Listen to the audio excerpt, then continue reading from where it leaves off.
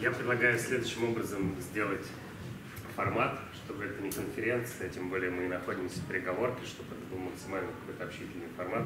Можете перебивать, задавать вопросы, потому что потом, когда вы поговорите за полтора часа информации какой-либо, даже за час двадцать, а на вопросы сил обычно не остается, поэтому если вдруг какие-то вопросы будут сразу в голове, вы задавайте, не стесняйтесь задавать. А, Меня зовут Ваня Ильин, я основатель агентства ML маркетинга ML Soldiers. Свое большое прошлое и настоящее сделал много разных проектов в сфере коммуникаций, но очень мало работал с некоммерческими организациями. И когда ко мне пришли ребята и попросили меня выступить первый раз, я подумал, что нужно найти что-то такое важное, полезное, что можно было применить именно в некоммерческих организациях, но потом оказалось, что стандартные модели и механики, которые есть в обычном бизнесе и в обычных проектах, просто э, это связано с рассылками, оно, в принципе, имплементируется на МКО. И я вам сейчас это расскажу. Моя лекция будет сегодня, сегодня весь день очень странно у меня пошел, и поэтому и презентация будет немного по-другому устроена. Я быстро пройду по той презентации, которой, которую вы видите, но она достаточно тяжелая, загоняет обычно меня в рамки, и я не могу рассказать какие-то конкретные вещи про рассылки. И поэтому мне прислали список вопросов, он у меня здесь загружен, который, на которые хотели бы люди получить ответы, и я буду прямо на доске э, реал-тайм э, отвечать, как это все делается и как это все работает. Поехали. У меня презентация немного не про НКО, она вообще в целом про email маркетинг, про построение персонального маркетинга вообще на любом проекте, на котором вы будете работать или работаете. А, Я расскажу про email маркетинг, и его ограничения, почему я считаю, что не только email маркетинг единым, как бы, а, почему CRM маркетинг устарел, А, и расскажу про какое-то новое такое, новый термин people-based marketing, персонализированный маркетинг. В общем, скептики, которые...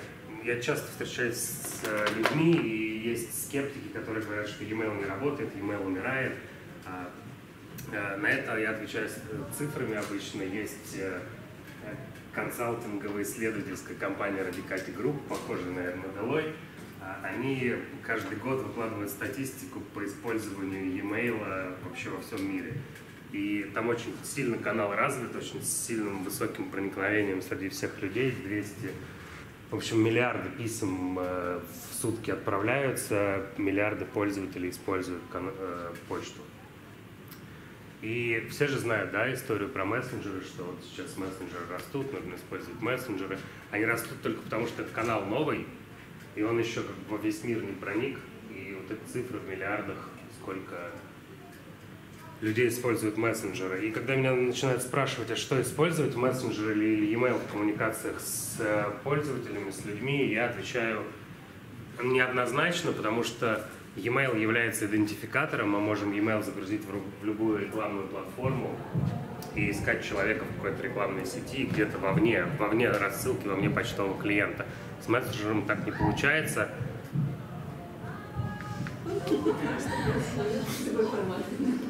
Какая детская вечеринка.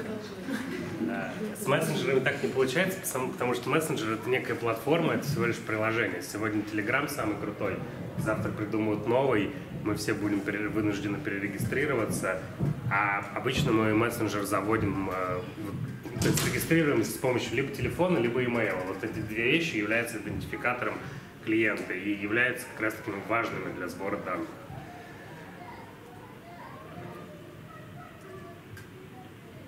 Я сейчас расскажу про исследование, которое мы сделали. Оно вообще тоже никак не относится к коммерческим организациям, оно относится к тому, что все, что обычно рассказывают, э, на практике просто никто ничего не делает.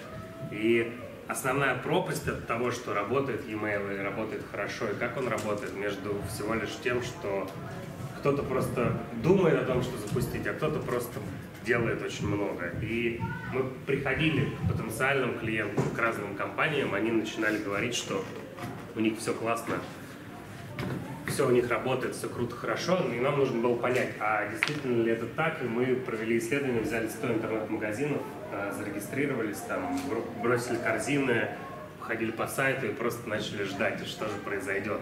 Э, думали, что что-то интересное будет происходить, и собрали файлик, все как бы все как нужно по канонам и только 40 э, магазинов, да, оказалось там e-commerce сектор, который в маркетинге сильно, гораздо сильно обгоняет все остальные.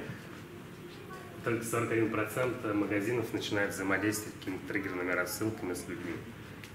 73 присылают нерелевантные промо-рассылки, то есть ты поковырялся там в интернет-магазине, посмотрел какие-то, не знаю, ламинат дорогой, а тебе присылают какие-то разные штуки неинтересные.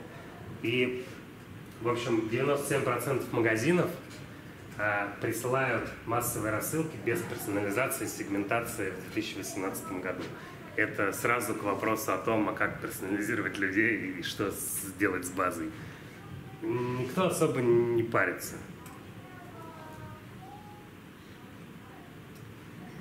А, когда-то давно, когда мы только начинали как агентство, мы сделали схему рассылок, которую под эгидой такой, что эту схему можно взять и применить просто-напросто на любом проекте. То есть адаптировав немного, там, подумав, безусловно, конечно. А, и я не думаю, что вам стоит это фотографировать, мне кажется, что я просто в раздаточном материале вам потом пришлю, потому что она здесь нечитаемая.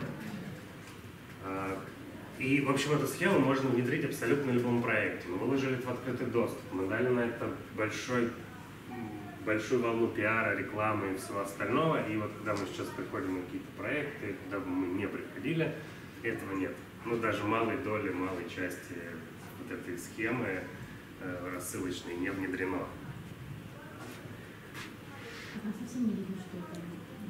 Но мы описали каждый блок, по сути, который можно, каждый блок коммуникаций э, и все это выстроить конкретную систему. То есть мы знаем, что у нас какой бы ни был проект, да, мы можем, например, использовать серию, э, welcome серию приветственную, то есть знакомить как-то с человеком проектом. Мы знаем, что мы какие-то новости можем отправлять, собирать поведение на сайте и взаимодействовать с ним по этим параметрам.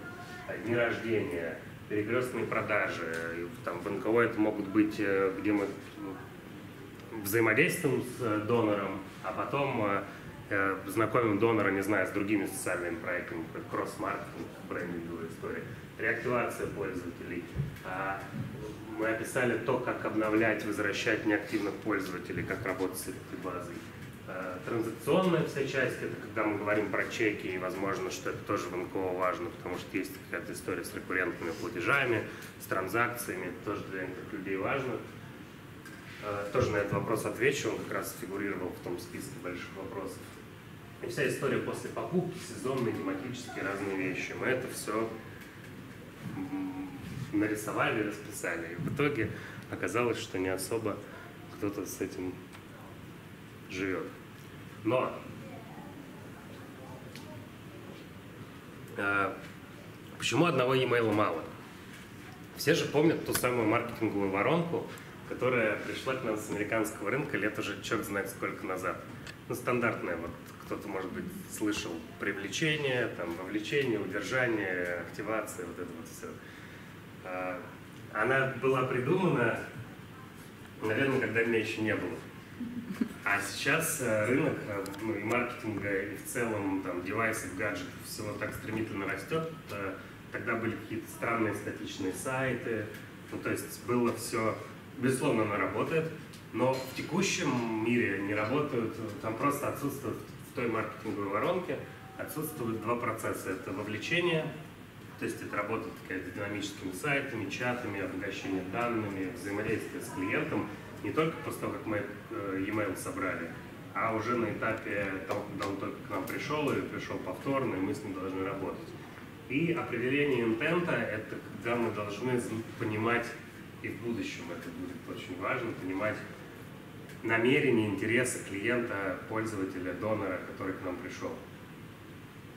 Это отсутствует. Примерно это выглядит следующим образом. E-mail э, всего лишь может взаимодействовать только с тремя фазами ну, чуть-чуть четырьмя э, фазами той стандартной маркетинговой воронки. А, я сразу скажу про лояльность. История такова, что это очень часто, ну, возможно, это консультант раньше использовали, когда продавали там email маркетинг кому-либо, говорили про то, что e-mail влияет на лояльность. Мне хочется закрыть глаза и, и не открывать в этот момент, потому что e-mail сам по себе как канал, канал взаимодействия на лояльность влиять вообще абсолютно никак не может. На лояльность может влиять только тот контент, та подача, которую мы в этом e-mail отдаем. И e-mail, скорее всего, может только сопровождать программу лояльности или сопровождать какую-то деятельность, связанную с качественным клиентским сервисом, вот этими всеми делами. Это триггерные рассылки, это промокоды, это баллы, это там спасибо за пожертвование. Вот в каком-то таком формате это может работать. А активация, да, то есть мы привлекли человека, собрали e-mail, можем с ним взаимодействовать, нам нужно его активировать, чтобы он стал донором. А удержание, потому что мы все знаем, что там, дальше, если ну, говорим, если про рекуррентные платежи, например, в фандрайзинге, то они ежемесячно списываются с карточки, а не всегда карточка у человека полная. И как только мы не сможем добилить карточку, мы теряем донора. А, но монетизация – это не про e-mail тоже. То есть это частично. E-mail может помогать монетизировать продукт. А, в вашем случае это сбор денег, да, сбор пожертвований. А, он может помогать только делать, потому что если у нас, по сути, не продукт, а ну, то есть, если мы сами себе ничего не представляем, мы, например, там супер не экологичная какая-нибудь некоммерческая организация, то e-mail всего лишь просто какой-то инструмент будет. Нам важно, чтобы... Ну, то есть все же этим не просто так занимаются, то есть для того, чтобы помочь людям, и важно, чтобы вы действительно это делали. Тогда это все будет работать. А, я расскажу историю одной компании, которая не относится даже к российскому рынку. Это компания Drift. Они делают онлайн-чаты. Это Америка, там немного другая уже жизнь э, в плане технологий. Э, они B2B. Что они делают? Э, в Штатах разрешено покупать данные о людях, которые пришли к тебе на сайт во внешних платформах, используя только один IP-адрес. И по этому IP-адресу можно получить вплоть там, до профиля человека, его адреса, где он работает, какие у него намерения, что компания в текущий момент ищет и все остальное. То есть компания Drift когда к ним а, приходит человек на сайт по IP-адресу, узнает а, о человеке сначала домен, а по домену потом подтягивает примерно карточку того, где он работает. Uh, у нас просто в России кривая маршрутизация интернета, поэтому в Рязани ты можешь находиться как в Перми, в Москве можешь находиться как в Нижнем Новгороде. А у них достаточно все хорошо разбросано, и сервис Datanize помогает, например, уже по профилю, ну, помогает прям полностью там, найти профиль человека, где он живет, кем он работает. И они сразу начинают отправлять рассылки, в Штатах разрешено отправлять рассылки в формат холодные, э, и, в принципе, у нас разрешено, если же мы знаем визит по человеку, на нем написан адрес, мы можем отправить, познакомиться. И там примерно то же самое. И они сразу отправляют э, и письма, и сайт изменяют в том виде, что если на сайт пришел инженер, человек из инженерной компании, например, там Jira, они начинают сразу подмешивать логотипы на сайт нужные, которые из технологического стека, и отправлять рассылки, тоже связанные с именно этим. Но это не все. Э, всех же, да, задолбали чаты, которые, вот эти консультанты, которые вылезают на сайтах и говорят, типа, чувак, чем тебе помочь? Да, в общем, да. Они тоже видимо, это мучила эта история, и у них на выступлении директор по развитию команды, ну, не команды, а маркетинга этой компании сказал такую интересную фразу, что стоит потратить нам 12 долларов на клиента, который принесет нам там 10 тысяч за год. Кажется, что мы можем себе позволить, только давайте научимся понимать, что он действительно может нам это принести. И вот они покупали данные, И в случае, если они покупали данные и понимали, что да, они, им удалось э, узнать, там, что это за человек, кто пришел на сайт, e-mail узнали, узнали компанию, узнали адрес, они в чате перестали предлагать какую-то помощь, мне просто начали предлагать чай или кофе. Э, заходишь на сайт, и тебе предлагают, хочешь чай или кофе, ты отвечаешь, да, хочу чай, тебя спрашивают сахар, вес, и сервис в Штатах э, позволяет с помощью API-запроса отправить тебе в офис или кофе. Они уточняют адрес, и человек приезжает в офис. 12 долларов в Штатах стоит кофе в Старбаксе.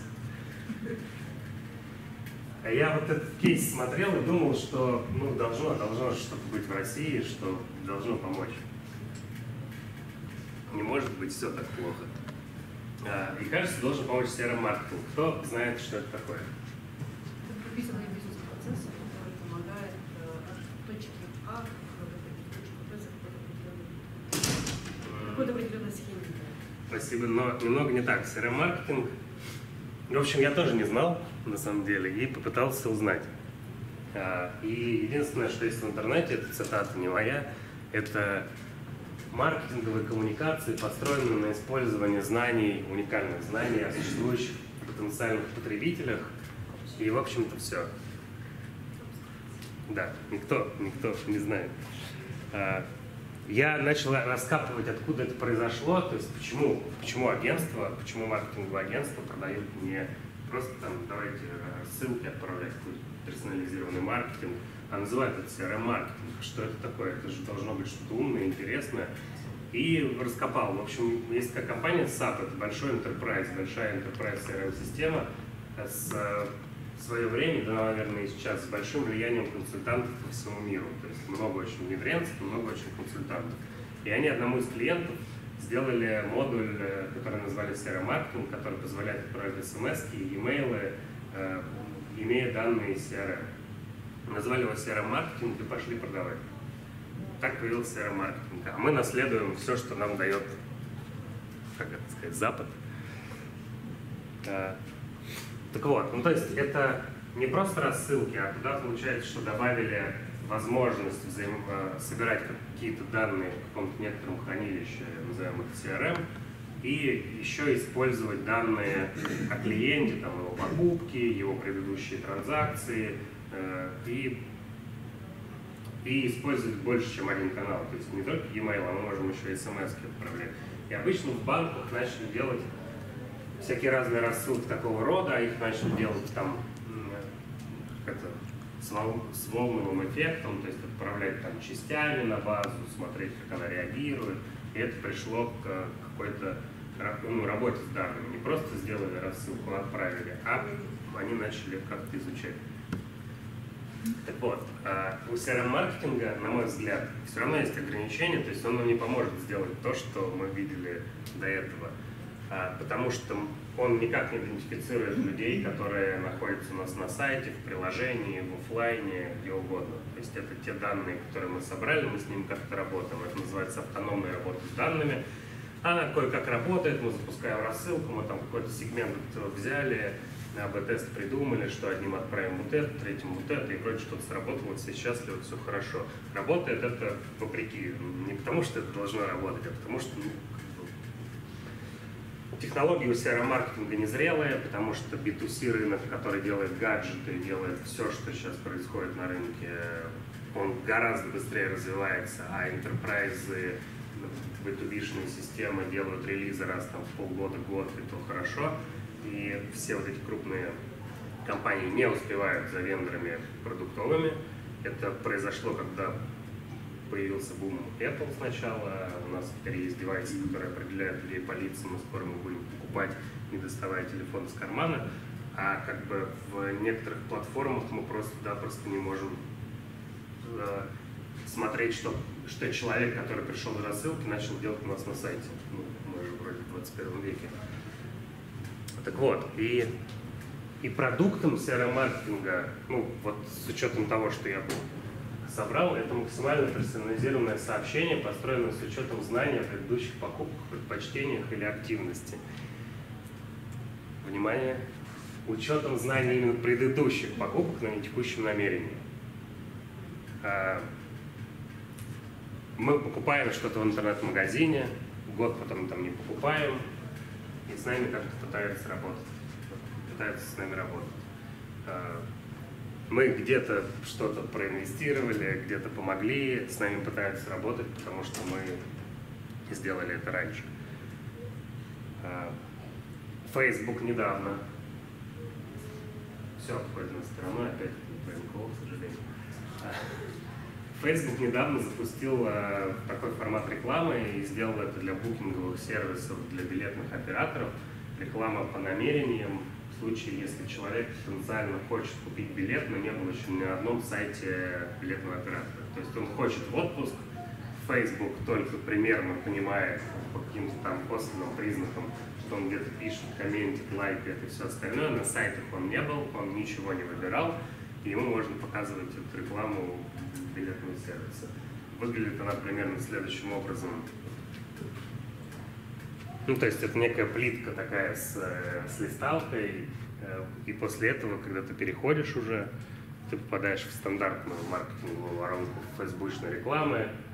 Сверху синим это вот то, что я рассказал, вот этот вот космос, а это обычная таргетированная реклама с ретаргетингом, с привлечением. То есть большие рекламные кампании точнее, которые предоставляют рекламный инвентарь, они скоро начнут это делать, и это нужно как-то пытаться думать о том, хотя бы как это можно использовать в будущем у себя на проектах, на любых. И именно Facebook один из тех, кто, скажем, локомотивно идет в сфере рекламы, он тоже вводит этот термин совсем недавно и везде в фейсбучных там вики начинает писать people-based marketing сложно переводимый термин на, на русский язык. Ну, кажется, что вроде что-то понятно, типа что-то основанное рядом с пользователем, что-то где-то здесь. А, а, в общем, это, это другой маркетинг, это тот маркетинг, который будет помогать уже брендом взаимодействовать с клиентом теми каналами, которые максимально удобнее клиенту. Это не омниканальность, потому что омниканальность это всего лишь то, что мы знаем, что у человека есть email, телефон, он ходит в офлайн, и мы можем ему там отправить массовые туда и туда рассылки. А здесь именно история про другое. Состоит из трех, из трех вещей. Да, то есть если мы говорим про рассылки, мы еще сейчас про них поговорим, то это в сторону автоматизации. То есть это автоматизация. Дальше это идентификация и данные. Три вещи. Примерно идентификацию данных можно схлопнуть в одно, я сейчас расскажу, как это работает. В отличие от CRM-маркетинга, это очень самый важный процесс, то есть, потому что если мы собираем какой-то профиль клиента, мы должны постоянно думать о том, как его актуализировать под наши задачи. Одна из простых задач, я дам сейчас инструментарий, э, можно собирать данные пользователя где-то в, вовне рассылки, ну то есть на сайте. На сайте мы будем видеть все, что делает человек, это склеивать в профиль, и как раз отпадает, возможно, ну, вопрос сегментации, а как сегментировать. Мы будем знать, куда ходил человек на сайте, куда не ходил. А, дело достаточно просто, четыре шага. Мы собираем идентификационные ключи от e-mail и телефона. Просто не всегда нам где-то удобно собирать e-mail. Бывает, что нам нужен только телефон. Мы их собираем. Потом мы умеем схлопывать их, учимся. А, что это значит? То есть к нам приходит э, на сайт Вася, Вася оставляет e-mail, мы начинаем с Васей взаимодействовать с помощью рассылок. Вася возвращается с помощью рассылок, где-то в какой-то форме оставляет у нас еще и телефон. И мы должны его собрать. А, потом мы туда добавляем данные в этот же профиль уже, данные о самом клиенте, доноре, то, как он с нами взаимодействовал конкретно с компанией, что-то покупал, делал какие-то транзакции, может быть, что-то спрашивал, интересовался где-то чем-то на сайте, оставлял отзывы, э, все, что знаем, вначале в рамках бреда можно использовать все, а потом применяем в разных каналах, в Facebook и в Facebook. А как, кстати, у НКО с рекламой в Фейсбуке? Тяжело, да? Хорошо, наоборот? То есть там нет ограничений? Ну или какие-то есть все равно законодательные Есть финансовые ограничения. Ну, это понятно. Facebook не дает бесплатно. Бесплатную рекламу. Да. А Ну, пожертвователи не оплачивают рекламу. да, но если как бы считать все по маркетинговой составляющей, то можно, в принципе, наверное, допускать. Вот. Идеальный профиль клиента миф, его не существует. То есть, когда вы услышите, что кто-то собрал идеальный профиль клиента, нет. Вообще все разные. То есть даже есть такой подход, что вся вот эта RFM-сегментация, кто-то слышал, вся вообще сегментация, которую можно применять вообще в коммуникациях в интернете, это просто не работает. Потому что мы попытаемся по параметрам э, маркетинговым, ну так, сколько он у нас покупал, как часто покупал человек, вот это вот все собираем и пытаемся придумать какой-то профиль и сегмент. А оказывается, что матрасы, которые мы продаем, покупает женщина, ей 30 лет, э, она одна. Вторая женщина 30 лет, которая купила этот матрас, она будет абсолютно другой. А в сегменте в маркетинговом они окажутся у нас в одном. А мы же все разные люди. Ну, то есть да, для каких-то маркетинговых целей и задач, возможно, там вот эта математическая простая э, сегментация, выбрать тех, выбрать этих и этих, посмотреть, кто покупал, кто не покупал, работает. Но иногда стоит думать о том, что есть что-то дальше маркетинга, а дальше маркетинга обычные люди. Автоматизация маркетинга. Вот к самой важной части перешли. Э, ничего сложного, Просто это системное внедрение всех каналов коммуникации, которые можем внедрить, которые можем использовать. Если можем только использовать email, внедряем email. Если можем коммуникации какие-то как-то с пользователями взаимодействовать на сайте всякими баннерами, показывать что-то в зависимости от поведения, делаем. С мессенджерами также, с пушами и все остальное. Но первые два как бы можно использовать. А, вот так, например, у меня выглядит. Map — это не карта, это маркетинг automation платформа, платформа автоматизации маркетинга. И не пугайтесь этого названия, оно может быть абсолютно любое, от простого рассылщика Unisender до там каких-то сложных интерпрайзовых решений, майнбоксов всех остальных. Собираем идентификаторы, кладем в хранилище, передаем из хранилища вот в эту штуку, а потом дальше по разным каналам взаимодействуем. Все достаточно сложно инструменты. Для сбора базы, в принципе, я не стал выделять никаких, никакой американщины сейчас. Я не против, конечно. Но это просто российский сервис, один наш литплан и поп-механик, тоже ребят российских, которые позволяют всякие вот эти баннеры, э, попапы, формочки разные делать на сайтах. И автоматизация сбор профилей. Просто в России пока мало сервисов, которые этим умеют заниматься. Да, Enterprise умеет, это вот Exponia, Sunrise, это вообще крупняк польский, они дорогущие, но они это, конечно, делают, надо было просто сказать, что вот есть такие ребята. Mainbox позволяет это делать. И Carrot Quest это самое простое решение, самое дешевое, самое, ну, то есть ничем, наверное, ну, чем-то уступающее Mindbox у, потому что Mindbox это про ритейлеров, это про такие сети, как X5, пятерочка, это про продажи, про лояльность. А если говорить там про рассылки, про чаты, пуши, то можно взять Carrot quest и забыть вообще надолго обо всем. Э, Иван, и... надо расшифровывать. Что? Расшифровывать. Мне кажется, эти инструменты совсем не в секторе НКО, поэтому лучше как-то... Да, ну то есть все, вот если вы используете какие-то рассылки, вы каким-то рассылочным сервисом пользуетесь. Вот. Э, то есть это примерно то же самое, что рассылочный сервис, только в себя включает еще дополнительные возможности, а, по тому, например, что мы ставим код на сайт, и помимо того, что мы умеем отправлять рассылки, все пользователи, которые приходят нам, к нам на сайт, они тоже в базу попадают там, сначала как обезличенные, с каким-то профилем, где ходил, что смотрел. А как только e-mail человек оставляет, он собирается схлопывать профиль. Вот то, что я до этого показывал в 4 шага, просто сервис делает уже. То есть останется вот только установить. Не нужно ничего выдумывать, и знаний никаких не нужно делать. Остальные просто сервисы чуть гораздо сложные. Ну, Quest. Можете вот просто на сайт зайти, там все будет видно. Это мы сейчас поговорим про сервисы. Вот, и вот это вот все большое, сложное для внедрения, внедряется на самом деле все достаточно просто. А, базовый уровень это аналитика и сбор, сбор базы. То есть мы должны знать, кто к нам приходит на сайт, сколько этих людей, каких целей они достигают. То есть стандартная аналитика, без которой маркетинг не летит. Поэтому это включено. Дальше собираем базу. Потом внедряем e-mail, push SMS, и потом, если нам позволяет возможность, уже все остальные вещи, вай- вайберы, э, каналы, другие привлечения, таргетинг по намерениям и интересам ко всему остальному. Да, наверное, все. И я бы хотел ко второй части перейти.